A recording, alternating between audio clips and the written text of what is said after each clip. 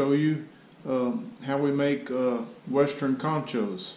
Uh, it's a pretty big uh, item in the Western artisan world, and uh, conchos are used on uh, tack, saddles, um, key rings, bolos, uh, you know, all kinds of stuff, belts, purses, whatever. And what we're going to do is make a steel concho and we're going to put a brand on it and we're going to dome it and uh, then I'll show you the various things you can put on the back of them to make them do different things. And then we'll cold blue it. So uh, you can hot blue them you can brown them uh, whatever your preference is. Uh, I'm just cold bluing these and I'm going to have a, a uh, silver or brass overlay on them. Okay, well, to begin with, what we're, what we're going to do here is we've got uh, some conchos I bought. Uh, they're pre-punched. They're out of uh, 16 gauge steel. They're one and a half inch in diameter. And I bought these from uh, Western uh, Metal Art Supply online. These are some friends of mine I met at a spur show and they do a, a good job on supplying uh, spur parts, buckle parts, uh, conchos. Check them out, uh, Western Metal Art Supply online. Anyway, I bought these. Uh, it's a lot easier to just buy them punched out. If you have a big punch, you know, you can do them yourself. Or you can cut them out if you just got one or two to make. But when you've got several, like this, uh, it's just as cheap to, to buy them pre-punched and they're perfectly round and ready to go. Uh, other than polishing up and everything, preparing them. So what we're going to do next is we're going to cut out some overlay uh, for one of these conchos and uh, we're going to polish this concho up. We're going to put the overlay on it. Then we'll be uh, doming it and then we'll attach something on the back of it to do what we want it to do. So stay tuned.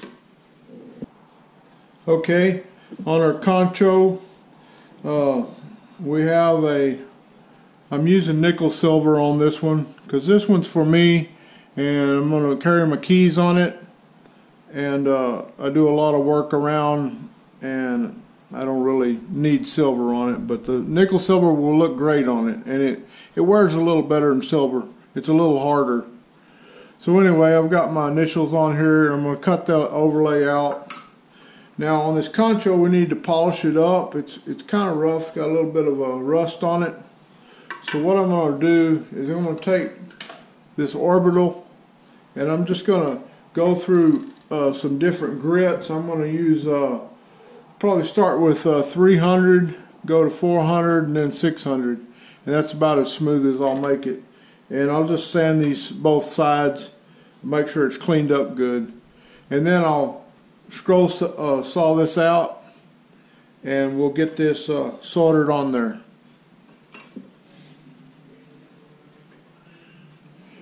Okay I fluxed this uh, concho up got it sanded off real nice. I've got my uh, brand on there and I'm pretty satisfied where it's sitting. I've got four clamps on it. I want to hold this thing flat. The flatter you can keep it on there, the easier it'll solder. I'm going to solder this with 65% silver solder. Uh, this way we can put whatever we want on the back and then the front won't come off. Uh, I switched to a big tip. I've got it fluxed up with handy flux and we're on a, we've got it on a different stand today. It's got holes all in it, and I've put my ceramic block on there, which has holes through it. And I'm going to start heating through the bottom and around the outside edge. This uh, overlay is 22 gauge, and the uh, concho is 16 gauge. So we're going to have to heat up the uh, uh 16 gauge uh, way hotter and try to keep that uh, overlay cooler so when we add our solder it'll go in between there and not on top of the overlay.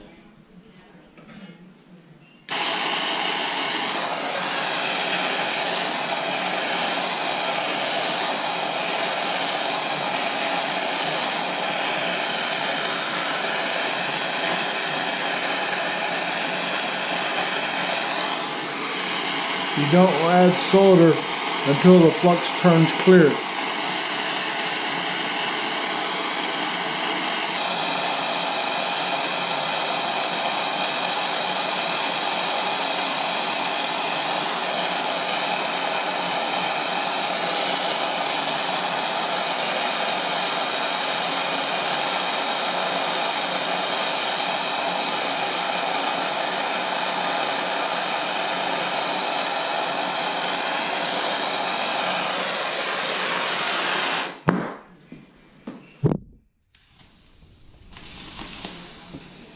Can see that the metal started to turn a little bit red. Uh, I got it just a little bit too hot, but we still got it soldered. 65%, you've got to get a kind of a low red glow on that steel, and uh, that's about right. But we've got good solder all the way under it. We're going to cool it off and uh, clean it up. And to clean up on this, we'll be taking it to a bead blaster out in my other shop. We don't want to put steel in our uh, silver uh, muriatic acid solution because the steel will contaminate it. Okay, we're out here at my other shop and what we're going to do is uh, dome this concho we made.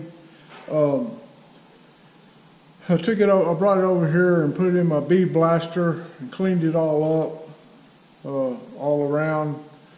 Bead blaster does, uh, with the right bead, does a real good job on taking out your unwanted uh, solder and uh, knocking off any fire scale or anything like that that you have, or fire scuff, whatever that is. Anyway, what we're going to do now is dome it, and uh, I use two different things for doming. I've got a 20 ton press here and I've got a box here with a polyurethane in it. It's contained in this steel box.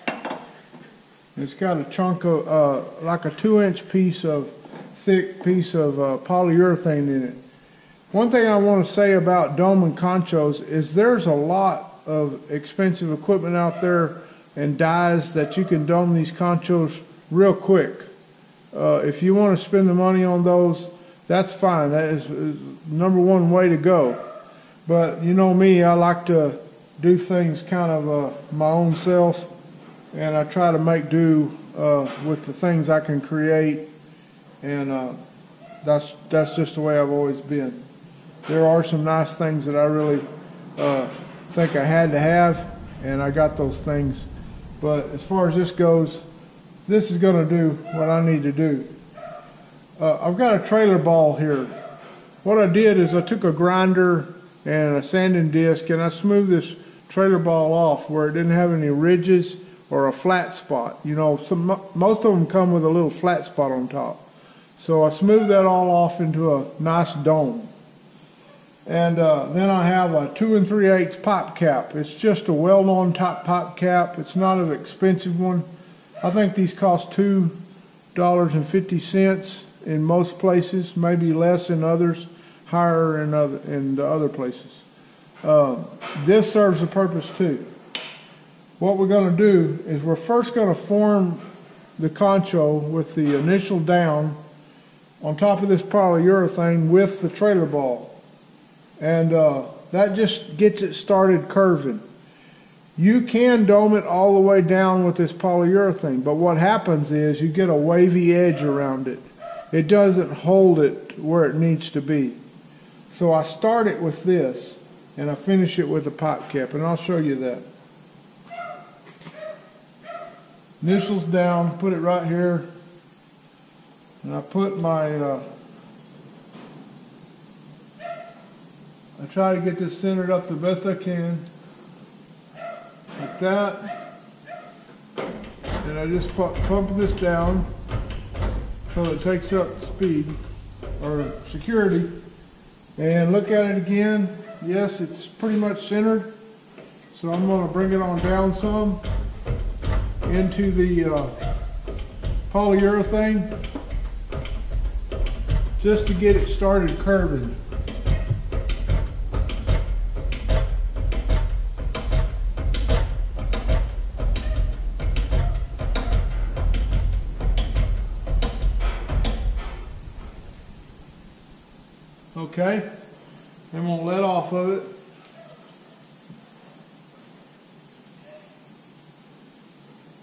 About like that.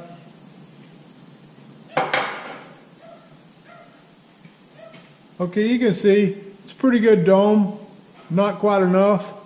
But you see these waves around the edges? That's what you get in the polyurethane without a female die in here. Okay, what we're going to do next is we've we've got it uh, like partially domed. I showed you has a little bit of wave in it. Now the polyurethane, when you're doming the contour in the polyurethane, you don't have to tape the front of it because it's not going to scar up the silver on it. But when you put it into the pipe cap, you need to put blue tape over your overlay. That way it won't scar it up. So I've got my blue tape on here. I'm going to center it up in here. Put it back in here.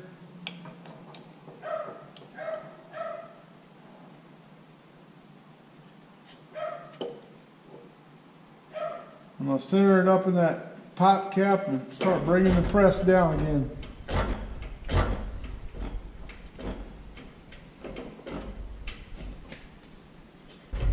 And we're just going to bring it down again.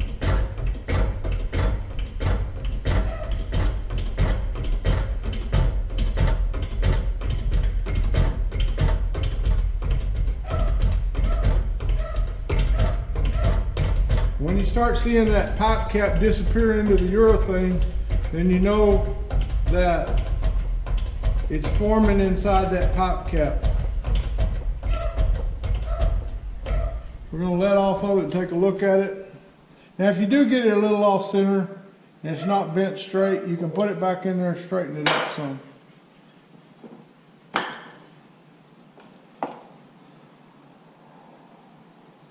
Oh, that's real good. You have no wave. It's all flat. Get this tape off here, you can see it better.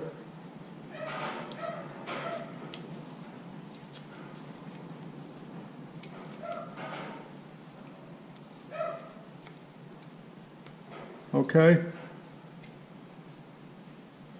You can see the dome of it.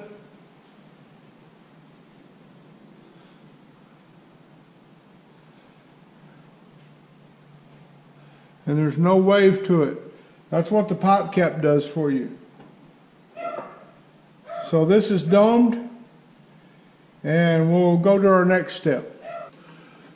Okay, we got this concho dressed up a little bit. I put some, uh, I followed some uh, scallops along the edge with my round file. And the way I did that is I just took uh, dividers and marked where I wanted them and notched them. Then I polished it up a little bit. I put some uh, wheat stalks here in the sides and did some wriggling in the, on the brand. Anyway, it's just dressing it up before I blue it. Um, there's a couple of things you can do with conchos, and or there's several things you can do with conchos. But uh, one of the most popular things is to put them on saddles, belts, purses, things like that. And to do that, you need a, a concho screw in the back. And to do that, uh, now on, I just did want some for uh, a guy with a saddle, and uh, we put quarter inch concho screws in it, and it worked out great. Um, there's different links concho screws, and uh, anyway, they're like this. They've got a threaded part with a Phillips or, I mean, a flat screwdriver head in them. And the other part is just a receiving end of it, the female end. Anyway, uh, you would put it here and you would, uh, I would use extra easy solder, silver solder on it. That way, because you use 65% putting the brand on, that way the uh, you don't have any chance of the brand coming off or something like that because uh, once you dome it, that brand's under a lot of stress. So I think extra easy would work great. You want to be sure you center it up good. Gizmo like this, and I put it up there on my soldering table, and it just holds it in place while I solder it. And again, you have to heat up the steel pretty good, but brass has to be pretty hot too. So anyway, you can solder that on like that. Some guys have a, a rod that comes down and holds it in place.